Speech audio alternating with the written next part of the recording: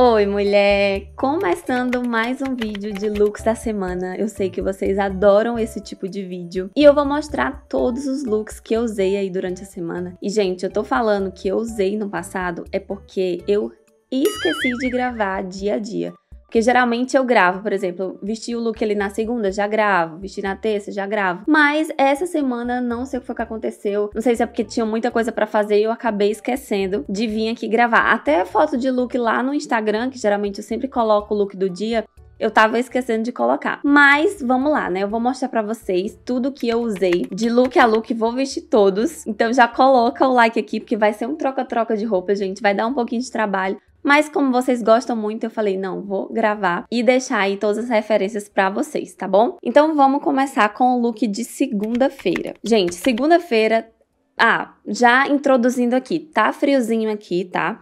Pela manhã faz ali seus 10 graus, 9 graus. E na parte da tarde fica ali nos 22. Então é um. Coloca casaco e tira casaco. E para vocês já entenderem, né, como é que vai ser aí uh, os looks. Vão ser looks mais pro frio. E, gente, na segunda-feira eu comecei com esse moletom. Eu queria um look mais confortável porque Segunda, eu fui fazer as compras de casa, fui comprar tudo que estava faltando aqui. E aí no supermercado, né, gente, tem que ser um moletom.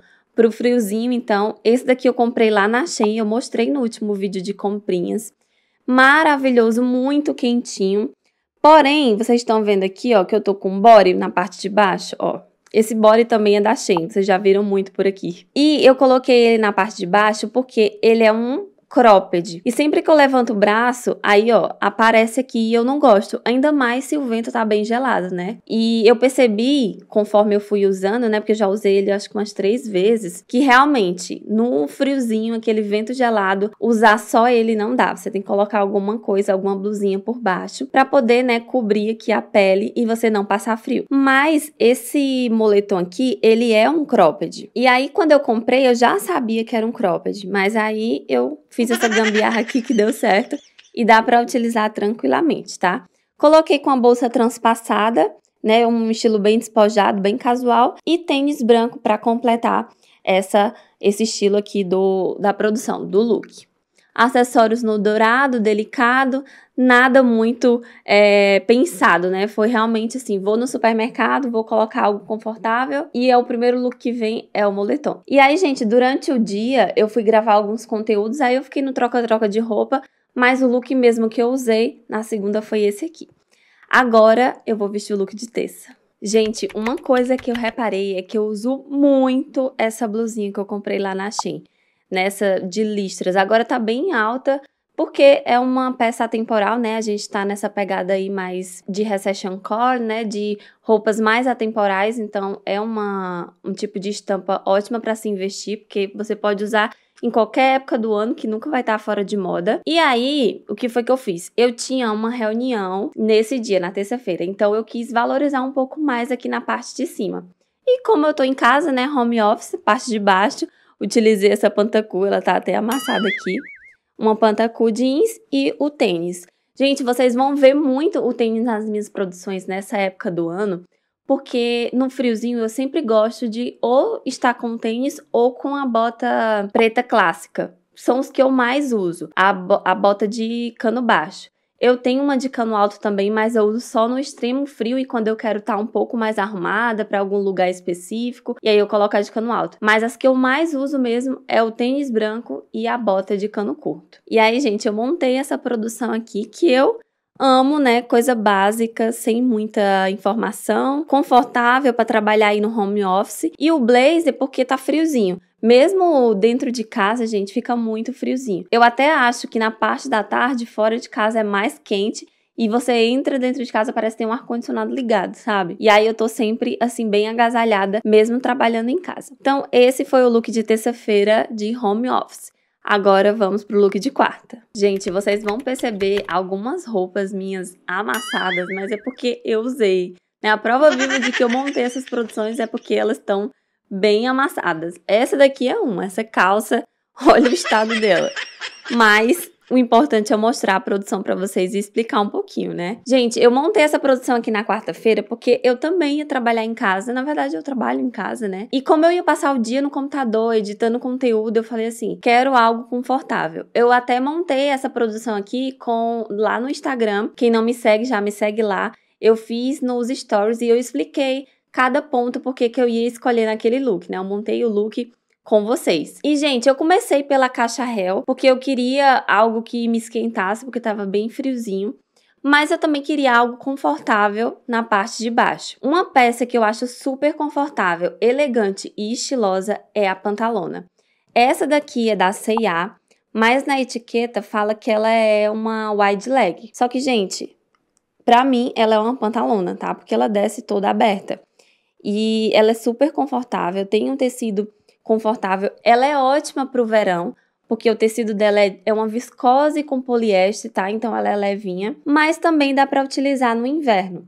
Teve até uma dúvida de uma inscrita aqui perguntando sobre que eu lembrei agora. Como utilizar pantalona no inverno. Eu posso montar aqui algumas produções de inverno com pantalona, eu vou trazer esse vídeo ainda. Mas uma, uma coisa que eu uso, né, para não deixar de utilizar essa peça que eu uso muito no verão, no inverno eu colocar a meia calça por baixo, para ficar mais quentinha na parte de baixo até, se possível, colocar também uma bota de cano alto na parte de baixo. Como dá para esconder, né? Coloca ela por baixo, ninguém vai saber que é uma de cano alto. E aí as estratégias que eu utilizo para colocar essa peça no inverno. Mas como eu tava em casa, eu poderia colocar uma manta nas pernas, né? Poderia ficar mais confortável. E aí eu só coloquei mesmo a caixa réu, a pantalona para trazer esse conforto né, dentro de casa. E na parte da tarde eu tive que dar uma saidinha para resolver umas coisas, daí eu coloquei o tênis, né, meu fiel companheiro, e a essa bolsa aqui para fazer um complemento aí das combinações dos neutros. Já falei aqui no canal, mas vale a pena repetir. Os neutros, eles combinam entre si. Então, se você tem cores neutras no seu guarda-roupa, pode ter certeza que você tem uma infinidade de looks. E aí, ó,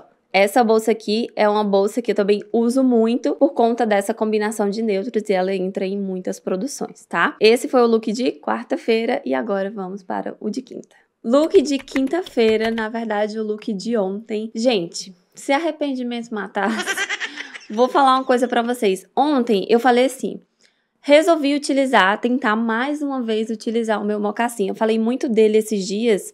Aí eu falei assim: vou dar uma chance, vou usar ele.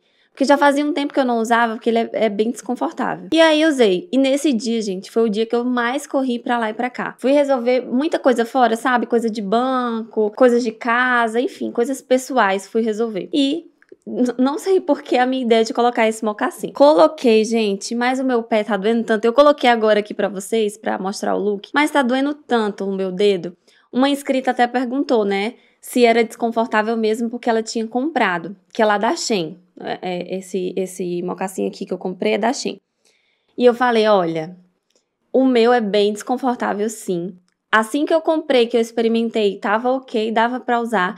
Mas, assim, para você andar, gente, não dá. Ele machuca aqui na parte do dedo mesmo, do dedão e do dedo midinho, sabe? Nas duas pontas e não tem condição, meu pé fica todo espremido dentro dele. Enfim, mas deixa eu mostrar aqui o look para vocês. Montei essa produção all black é, com essa calça. Eu comecei por ela porque eu queria utilizar ela. Ela é uma calça nova, eu comprei ela na Renner recentemente. E é uma tendência agora, né, 2023, muita gente tá usando essa pegada mais desbotada, meio anos 2000 e gente, eu simplesmente amei essa calça, mostrei ela no vídeo de comprinhas. E aí eu vim na produção all black com essa blusa que é lá da Shein, que eu ainda não mandei ajeitar aqui, que eu falei para vocês que eu ia mandar colocar essa manga dela aqui mais pra cima, né? Porque ela é aquela mus muscle, né? Muscle. Eu ainda vou mandar na costureira, mas tá dando pra usar, mesmo ela estando um pouquinho grande aqui na parte de cima.